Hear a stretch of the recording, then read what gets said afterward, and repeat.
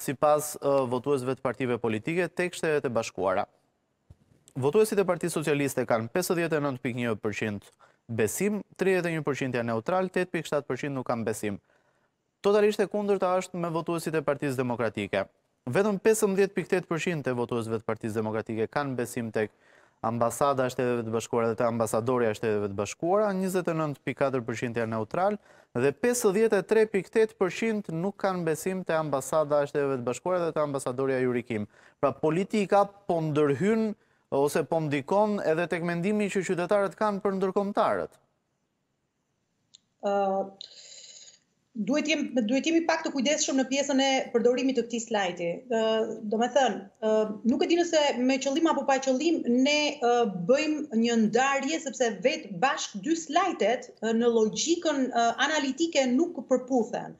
Pra, slajdi i parë që tregon për besueshmërinë e qytetarëve tek ambasada amerikane është në majë, Pra, qytetarët shqiptarë, dhe kjo është e qartë, në, do të thosha unë, drejtimi që qytetarët shqiptarë kanë treguar.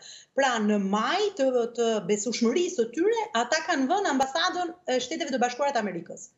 Tani, nëse vijmë tek pjesa politike, vetë slajdi na ndikon ose na shtyn pra për të kuptuar që ne nuk po flasim më vetëm për ambasadën si institucion, Por, po, po flasim për ambasadën dhe për përfaqësuesen për përfaqësuesen e kësaj ambasade, për ambasadoren. Duhet ndarë kjo. Duhet ndarë kjo. Sepse ë do të thosha unë, është njësoj me institucionet e të drejtës publike. Pra në qoftë se individi ka besim se, ose për ta bërë pak ndoshta më të qartë për, ose më të thjeshtë nga pikëpamja e të shprehurit. Nëse do ta referojmë pra në qoftë se personi, qytetarët mund të kenë besim tek një institucion, është një tjetër gjë, pra që ky institucion prodhon, pra ka mundësi të bëjë gjëra dhe është një tjetër gjë në qoftë se kanë besim tek një përfaqësues momental i atij institucioni. Pra duhet ta ndajmë sepse nuk shkojnë të dyja bashkë.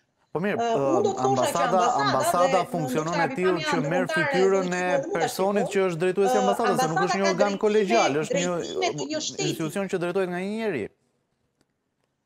Po, po ai njeri nuk bën drejtimet e veta. Pra ai njeri ka drejtimet e shtetit që ai përfaqëson.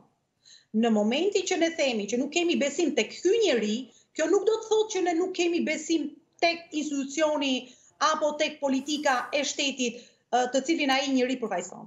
Do të thotë që, do të thotë që për ta bërë pak më ose të paktën unë kështu e kuptoj sepse nuk përputhen slajdet, sepse në rast se shumica, pra ne nuk kemi një ndarje 50 me 50 në në besimin që qytetarët kanë, pra duke futur këtu të majtë dhe të djathtë. Ne nuk kemi një ndarje 50-50 në besimin që ata kanë te slajdi i parë ndaj uh, ambasadës së Shteteve të Bashkuara të Amerikës. Por uh, në në atë rast shifrat janë uh, mbi 70%, pra do të thotë që të majtë dhe të djathtë janë duke besuar që barometri tregon një përkatësi të do të thosha unë neutrale dhe të përbashkët, do të thotë që qytetarët shqiptarë janë sipër besimit për Shtetet e Bashkuara të Amerikës.